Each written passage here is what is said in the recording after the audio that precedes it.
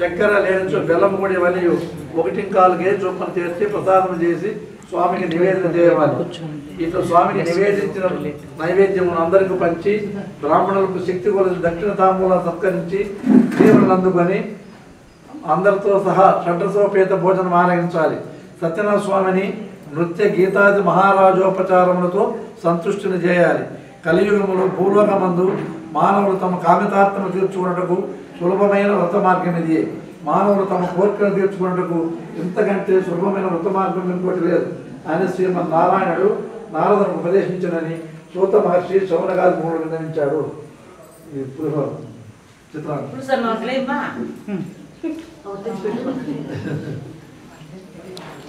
నెయ్యి. నెయ్యి కావాలి.